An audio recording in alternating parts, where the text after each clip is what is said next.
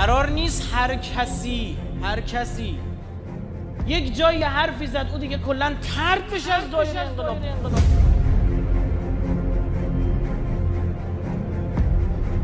به پیر به پیغمبر ابا عبدالله ما با هور اینجوری رفتار نکرد. رفتار نکرد.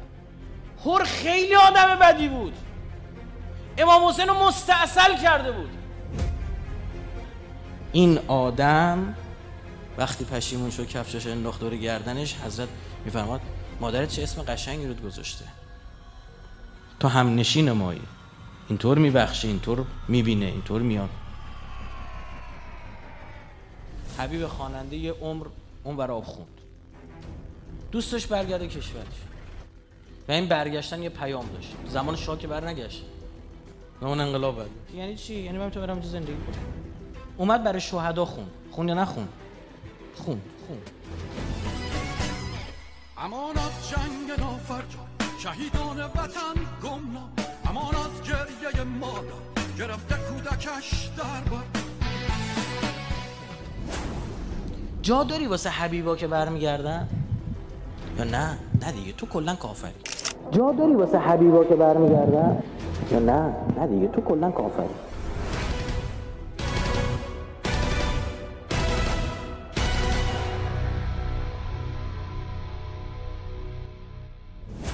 انقلابیگری این آغوش باز برای پذیرفتن مردم. میگه شاید ادا باشه خوب مگه چلاقی؟ ملاک حال فعل افراد اومد هر تو موقع که خوبه خوبه. حرف بد زد اخ جیز برو کنار. اصلا این افراد با این حرفاشو نشون میدن که نمی‌فهمن چی. یعنی ببین من کلا قدرت تحلیل آدما رو ندارم. که ببینم همین الان این آدم چی داره میگه. انظر الی ما قال ولا تنظر الی من قال ببین گفته چیه؟ نه گوینده. انظر الی ما قال ولا تنظر الی من قال.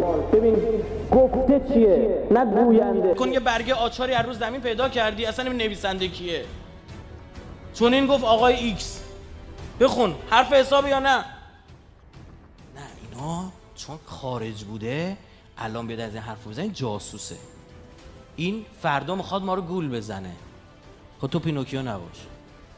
این باز بدبخت مثلا تابلو از اون ور اومده. تا دیروز آهنگ میخونده تا دیروز نمی‌دونم کارهای دیگه می‌کرده. مثلا فردی رو میگم. حالا نمی‌تونی تشخیص اونایی که یقه میبندن قایمن بینمون اونا رو چجوری می‌خوای پیدا کنی؟ اونا بیشتر ضربه می‌زنن. بیشتر ضربه می‌زنن.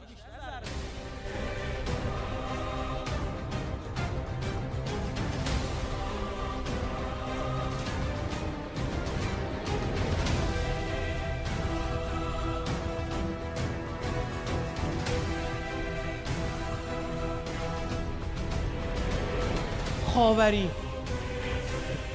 عکساش سرچ کن توی اینترنت. رئیس بانک ملی. ردیف اول راهپیمای 22 به من چفیه تو گردم. سیخ همجی بایسته خاوری ها رو چجوری می‌خوای شناسایی کنی؟ خاوری ها رو چجوری می‌خوای شناسایی کنی؟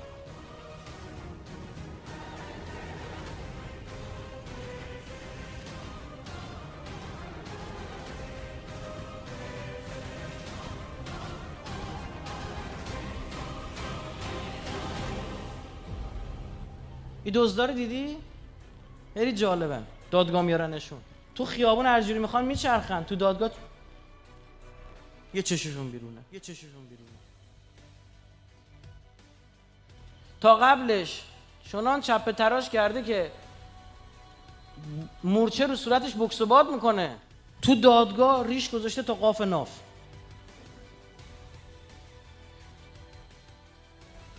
قبلش عکسای یه سال و نیم پیشش توی فلان کشور خارجی هست. یه سال و نیم رد مور در آورده لامصب.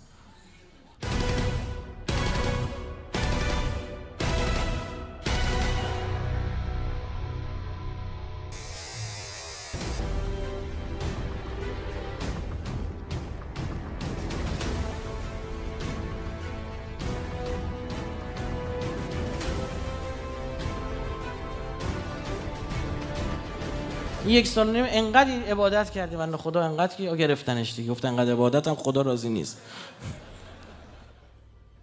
کنتور میندازی؟ نه مثلا کنتور یه انگشتر عقیق 50 تومن می‌خریم یه تسبیح دو تومن.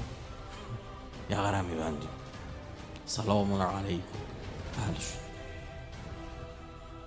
به جرگه ما خوش آمدی.